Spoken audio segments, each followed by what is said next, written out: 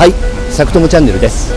えー、っと今日はですね、天気いいでしょ？ね、トモさん、トモさんが晴れを連れてきたのがはい、晴れ男です。晴れ男。あの天気すごいいいんですけれども、今日はですね、私の地元リッチモンドにドン来ております。はるばるね、トモさんに、トモさん東の方でしょ？住んでるはい、えー僕はあの西の方っていうことで、あのーすごい長距離の旅でここまで来ていただいたんですけども今日は僕の地元をちょっと紹介しようかなと、まあ、ガイドバックとか載ってないんですけどね。そういうところの方がいいじゃないですか。ですね。ね。はい。じゃあじゃあじゃあもう天気いいんで。ここで一応ロンドンなんでねロンドンバス走ってるんですよちゃんとね、えーちょっともっと郊外行っちゃうと、あのーその地元のバス会社のになっちゃうんですけどここは一応ロンドンになってる。そうトモさんも前ねリッチモンド来てるもんね。はい、オンラインツアーの撮影で。そうそうそう。撮影でね。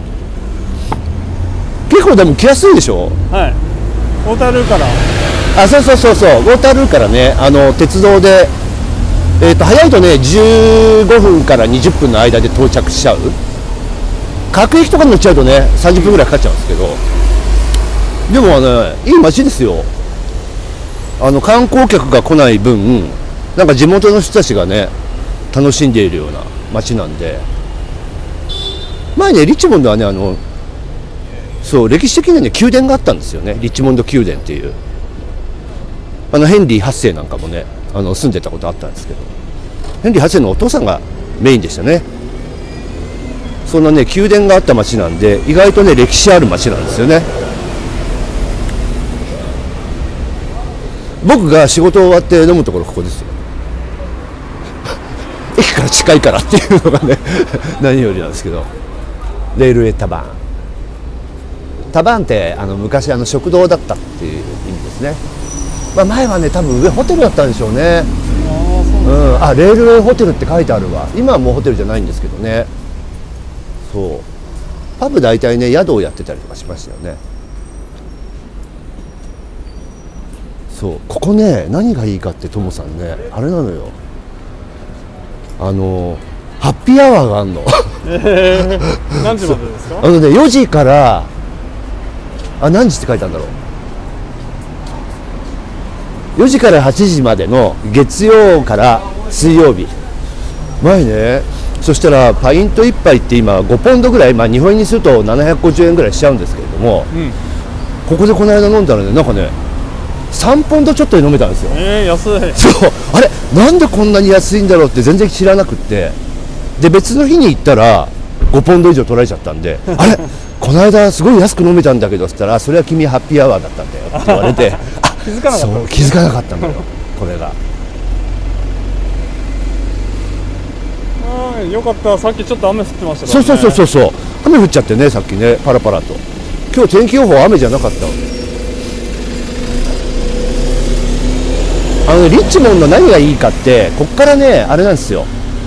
ヒースロー空港まで行くバスね直通バスが出てんの。ああ、いいですね。便利。便利でしょ？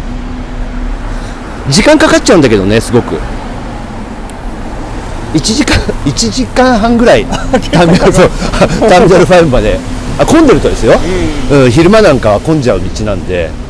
え、仕事行くときはじゃあ、バスですか？そうそうバスで。おお、結構怖いですね。のそうで空港でほらあのお客様を出迎える仕事をしてたじゃないですか。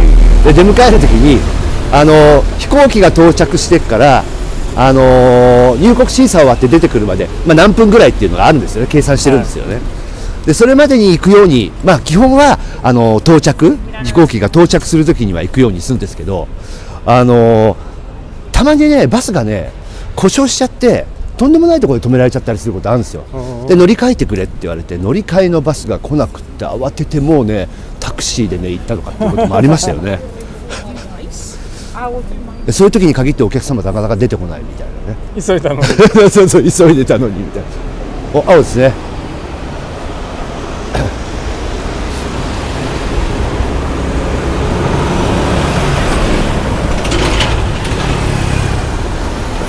これねジョージストリートっていうメインの道でだからどう？こう昔からの感じの。これちょっとチューダーっぽい感じのね。こういう作りどっかで見たことありますねあのあれですよ。あのリバティなんかもそうですよね。作り方的にはね。リバティもあれチューダーではないんですけどね作られた時代は。ええ。ではではやっぱりね僕の定番コースあのね前にねライブでやっちゃってるコースもあるんですけどやっぱりね細い道をね一個あるんですよ。そこがねなかなか素敵なんですよね。日部ではねあのあれですよ。主要なお店がほとんど。そうやってスーパーはもう大きなお店 4, つあるでしょ、はい。テスコセインズベリーズマークススペンサーウェイトローズ。最近ねテムズ川を渡った先リドルっていう、うん、あのドイツ系のスーパーができてるんですよ。あそこは安いですよね。もう。でドイツの商品だから信頼できるんで。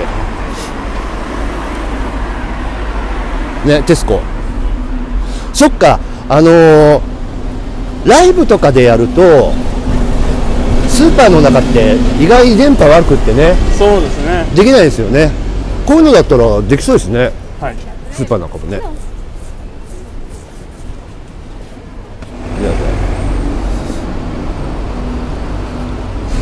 なんかねリッチモンドもやっぱりあのコロナの影響からかどんどんお店がこう閉まっちゃったりなんかしてあでまあその分やっとですよ。最近になってこうあこれもわかる。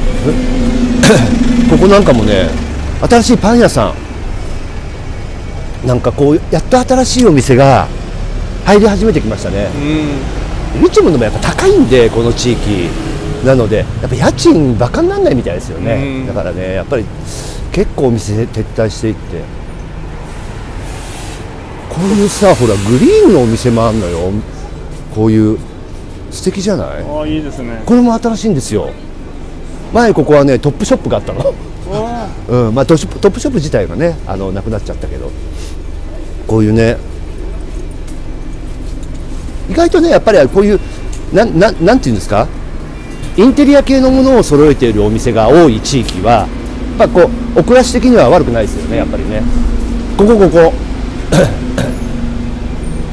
ブリュワーズレーン。この辺があのあれなのトモさん。あの昔のリッチモンドのねメインの街なんですよこの辺が。だからこういう細い通りが。これいいでしょこれこの雰囲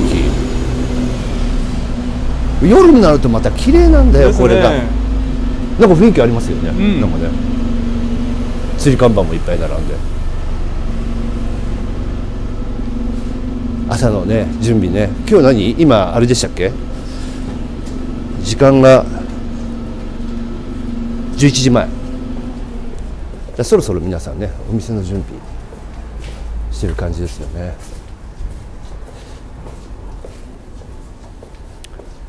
佐久間さんに路地が似合いますねまた。似合うでしょ？写真撮っちゃいますすいません。ありがとうございます。そう裏路地大好き。あそうそうほらこれペットショップじゃない？ペットショップ？ペットショップっつってもペットは売ってないんですけどね。これペット用の。あれこれかわいいね。これ人参の形とか家の形とかこれあのグミみたいなやつですよね。噛んで遊ぶやつ、うんうんね。蛇なんか持ってるそうペット自体はねもうあのブリーダーさんからしか買えないので。あとはあれか保護犬や保護猫をもこうねちょっとお金を払ってうんうん。譲ってもらうっていう感じですよね。これあのダニエルってここねチョコレート今チョコレート屋さんなんですけどあの夏になるとねあのジェラートんですよね。おう。うん。すごいよ。あ今あれだ。バレンタイン前だからだ。うん。今日何日 ?1 月の？19ぐらい ?19 そうだバレンタインだからだ。チョコレートばっか、えー、すごいね。ね。でもさチョコレートをあげる文化ってあんまりん？ね。ねないですよね。基本は。そうそうね。こうチョコレート屋さんこの辺ね古い昔のだから家並みですよね。保存建築の家がたくさんですよ。こっちねこれはリッチモンドグリーンっていうまあ、公園広場ですね。でちょうどねあのねあっち側の方に昔リッチモンド宮殿があったんですよ。こっちですか？おそっちの方。あせっかくだからリッチモンド宮殿の方抜けてってみようかな。はい。ね公園の中を通りながら。辺の家並みの壁のところにね枯れ木がこうくっついてるじゃないですか、うん。ここもファブですね。ここはねお料理の評判